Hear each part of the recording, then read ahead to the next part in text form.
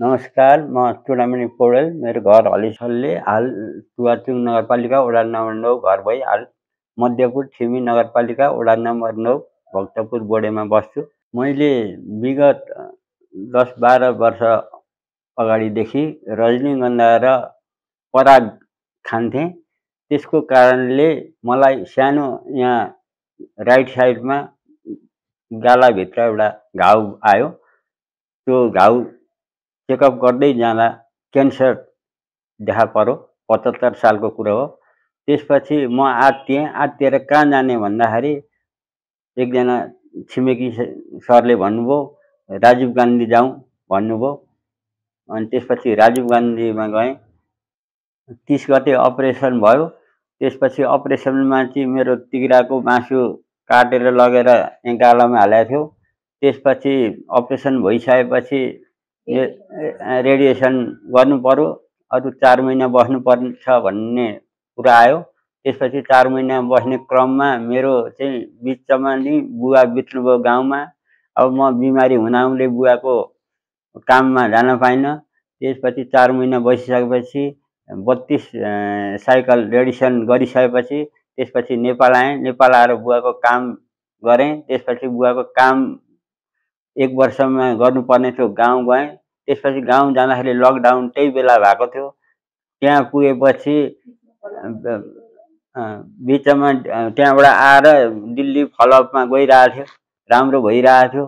फेरि बिचमा सानो मुखमा अलिकति मुख अलिक आ गर्न हुँदैन थियो। एउटा मिसिन दिएको थियो। त्यसले आ गर्दाखेरि यता साइडमा अलिकति च्यातिएछ। त्यसपछि हुँदा हुँदै मैले नेपाल क्यान्सर हस्पिटल हरिसिद्धिका डक्टर सुदीप श्रेष्ठको नाम सुने। त्यसपछि मोबाइलमा सर्च गरेर त्यहाँ गएँ। त्यहाँ फलोअपमा जाँदाखेरि डक्टर प्रभात चन्द्र ठाकुरले तपाईँको फेरि दोहोरिएछ क्यान्सर।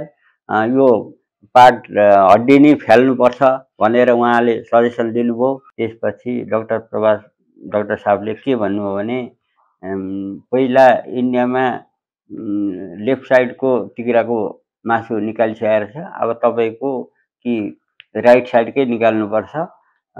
इनकेस भएन भने तपाईँको छातीको निकाल्नुपर्छ। राइट साइडको छातीको निकाल्नुपर्छ। र यो हड्डी चाहिँ पुरै फाल्नुपर्छ भन्नुभएको थियो।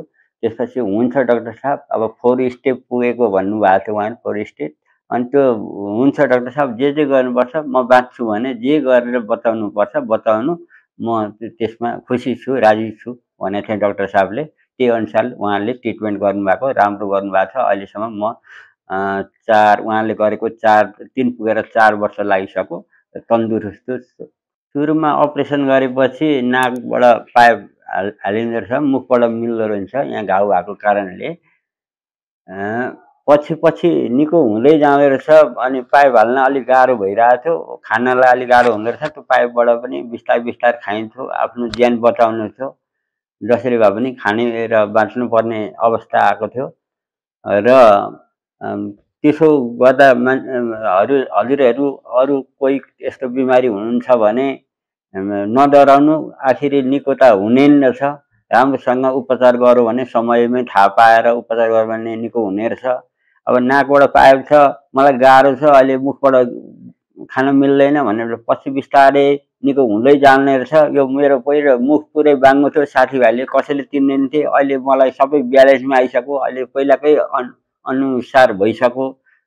लगभग अलि यो साइडको हड्डी नभएकोले अलि समस्या भएको। अरू सबै ठिक छ राम्रो छ। अब नेपालको क्यान्सर लागेको मान्छे नेपालमै क्यान्सरको राम्रो उपचार हुँदो रहेछ। तपाईँहरू पनि एकचोटि क्यान्सर लाग्यो भनेर आत्तिएर कहीँ कतै नजानु होला। यहाँ नेपाल क्यान्सर हस्पिटल हरिसिद्धिमा छ त्यहाँ जानु होला। राम्रो उपचार छ। धेरै मुगो पनि छैन धेरै सस्तो पनि छैन ठिक्क छ। अब दिल्लीबाट बिग्रिएको अपरेसन मेरो यहाँ नेपालमा राम्रोसँग डक्टर प्रभात चन्द्र ठाकुरले राम्रोसँग गरिदिनु भएको छ राम्रो अहिले सुधार भइरहेछ। फलोअपमा छु म अलिकति केही आफूलाई डाउट लाग्यो अलिकति दायाँ बायाँ यसो घाउ आयो भने म फलोअपमा गइरहन्छु। त्यस कारणले राम्रो भइरहेछ।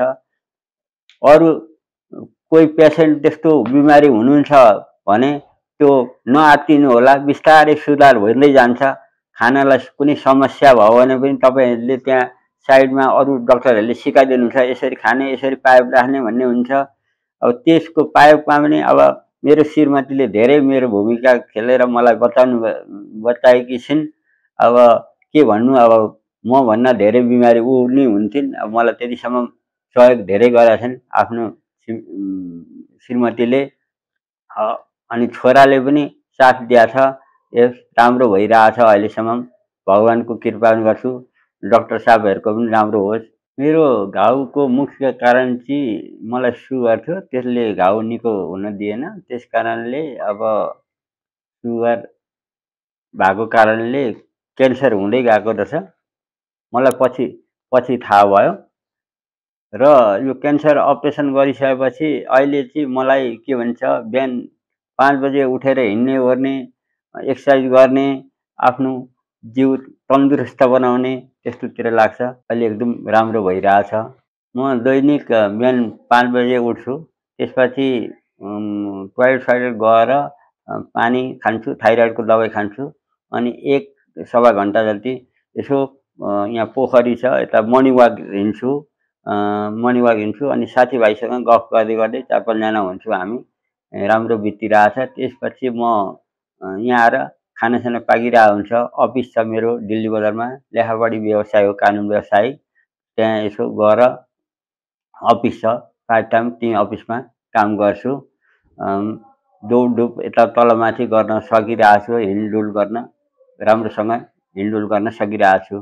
म वाकबाट गएर घुमेर आएपछि मेरो बुढीले सकेको काम केही बाँकी छ भने बढार कुडार घरको सरसफाइ पूजाका भाँडादेखि लिएर भात पकाउने भाँडा मोल्ने लुगा वासिङ मेसिनमा हालिदिने माथि फुलहरू रोपेछ फुलहरूमा पानी हालिदिने गोड्ने गोडमेल गर्न सकिरहेको अहिले हिँडडुल गर्न राम्रोसँग भइरहेछ।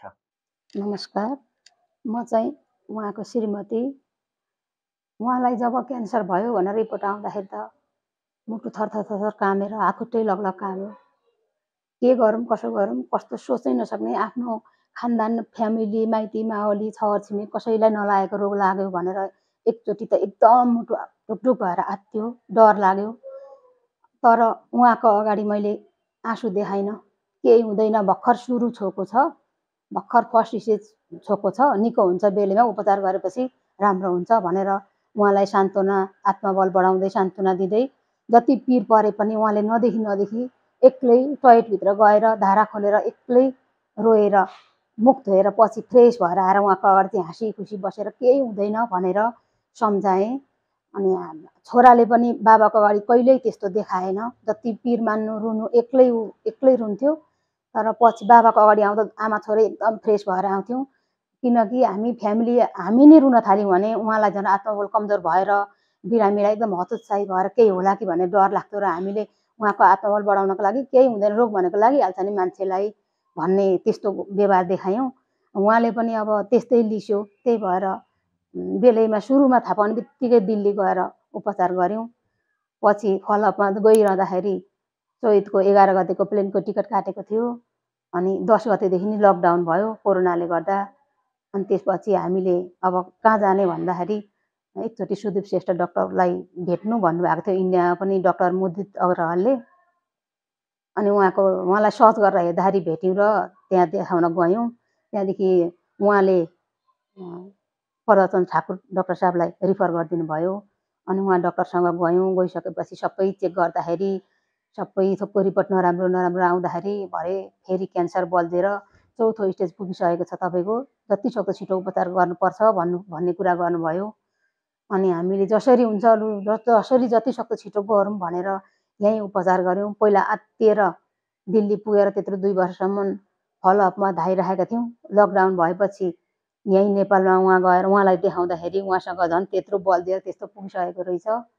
अनि कस्तो तनाव भयो नि त्यति बेला त अब के भन्नु? तर पनि जति तनाव भए पनि हामीले हिम्मत हारेनौँ। सबै फ्यामिली आफ्नो आफन्त छर छिमेक देश विदेश भतिज भतिजी दाजुभाइ दाई जेठाजु दाईहरू दिजूहरू सबैजनाको एकदम माया ममता हौसला प्रेरणा सहयोग साथ पाएर आज यतिको भएर उहाँलाई यतिकोसम्म हिँड्न पाउँदा एकदम गर्व लाग्छ खुसी लाग्छ। मैले सुदीप श्रेष्ठ डाक्टरसँग पनि अपरेसन गरिसकेपछि फलोअपमा भेट्दाखेरि मेरो स्वामीको बाँच्ने कति पर्सेन्ट चान्स छ डक्टर साहब भनेर म एक्लै गएर सोधेकी थिएँ। त्यति बेला उहाँले हामी पचास पर्सेन्ट कोसिस गर्ने हो अरू पचास पर्सेन्ट भगवान् भरोसा भगवान्लाई प्रे गर्नुहोस् भन्नुभएको थियो। यति रात दिन नभनी खटेर राति दस बजे पनि उहाँलाई खुवाउनुपर्ने औषधि सुगर प्रेसर कोलेस्ट्रोल थाइरोइडको बिरामी मान्छे औषधिहरू कुटेर झोल बनाएर सबै पिसेर झोल बनाएर राति दस बजेको औषधि खुवाएर बिहान फेरि पाँच बजे उठेर त्यसै गरी नाकबाट पाइप लगाउँदाखेरि पहिलाचोटि पनि सेकेन्ड पछि पछिल्लोचोटि पनि त्यस्तै गरेर दुई दुई घन्टामा चुकन्दरको जुस नरिवल पानी दिनमा दुईवटा नरिवल पानी त मैले प्रत्येक दिन ल्याएर खुवाएँ। अनि इन्स्योर ल्याएर डायबिटिज थियो फेरि उहाँलाई अनि डायबिटिज केयर इन्स्योर पाउँछ इन्स्योर ल्याएर मिठे फापर गाउँदेखि मगाएर मिठे फापरको पिठो बनाएर पिठोको खोले एकदम पातलो खोले बनाएर त्यस्तो त्यस्तो कुराहरू खुवाएर चालिस दिनसम्म नाकबाट पाइपबाट झोल कुरा मात्रै खुवाएर त्यसपछि पाइप निकालेपछि चाहिँ अनि मुखबाट खान मिल्ने भयो उहाँलाई। तर मलाई यति खुसी लागिरहेछ कि मान्छे कोही पनि मान्छे क्यान्सर रोग भनेको मान्छेलाई लाग्दो रहेछ। लाग्ने बित्तिकै आत्तिएर कहाँ जाउँ कसो गरौँ भन्दै बाहिर गएर दिल्लीमा गएर धेरै पैसा खर्च गरेर ऋणै ऋण गरेर उपचार चाहिँ नगरे हुने रहेछ। हाम्रै नेपालमा एकदम सम्भव रहेछ। यहीँ सुरुमै यहीँ जानुपर्ने रहेछ। थाहा भएन हामीलाई पहिला अहिले प अब चाहिँ जति पनि हजुरहरूले जर्जरले हेर्नुहुन्छ यो भिडियो थाहा पाउने जति मान्छे आत्तिएर सुन्ने बित्तिकै हतोत्साहित भएर दिल्ली नपुग्नु होला। दिल्लीको भन्दा राम्रो उपचार यहीँ हुँदो रहेछ यहीँ सम्भव रहेछ। क्यान्सर लाग्यो भन्दैमा कसैले पनि धेरै टेन्सन नलिनु टेन्सन लिएर केही हुनेवाला रहेनछ। जस्तो सुकै परिस्थिति आए पनि आफूले खेपेर भोगेर सामना गर्नै पर्ने रहेछ। त्यसकारण धैर्य धारण गरेर कसरी हुन्छ बिरामीलाई चाहिँ एकदम सान्त्वना दिएर हाँसेर नाचेर रमाइलो गरेर फ्रेस बनाएर औषधि उपचारमा एकदम तल्लीन भएर खटेर लाग्यो भने निको हुँदो रहेछ। जस्तै मेरो स्वामी आज यतिको राम्रो फ्रेस भएर हिँड्न पाइसकेको छ। उदाहरण म आफ्नै स्वामीलाई दिन्छु।